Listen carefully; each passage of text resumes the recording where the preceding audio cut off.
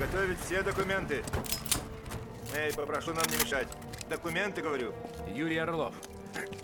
Мистер Орлов умеет оказаться там, где не надо. Так, что это за ерунда? Я видел вас у берегов Колумбии. Как называлось судно, не напомните мне? Коно или Кристалл? Команда называла корабль по-разному, а это нельзя называть в приличном обществе. Отвечайте на вопрос. О, новый МП-5? Хотите глушители для него, а? Покажите документы.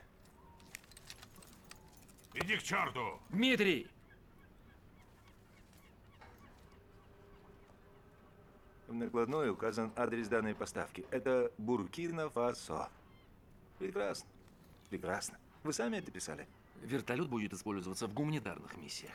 О, так вы еще и гуманист. О, безусловно. Это же военный вертолет. Уже нет. Слушайте человека. Что еще им делать с военной машиной, как не приспособить для гражданских нужд? Теперь от нее можно погибнуть, если только контейнер упадет. А это? Это что, а? Тоже для Буркина-Фасо, по-вашему? Но для другого клиента по другому адресу. Просто совпадение, да? Вы принимаете меня за полного идиота? Не полного, сэр. Сомневаюсь, что мне следует вас учить, но напомню, что раздельная транспортировка вооружения вертолета не противоречит требованиям и практике Интерпола. Мы оба знаем, что это не более чем бюрократическая глупость, которую отменят со дня на день. Но пока не отменили.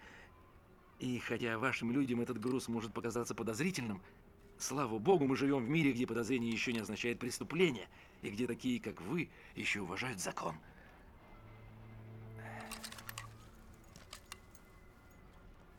Моя вина была очевидна, но Валентайн не мог доказать ее. А он был из редкой породы чиновников, которые даже видя, что закон нарушен, не станут нарушать его сами и не могут просто взять и арестовать преступника.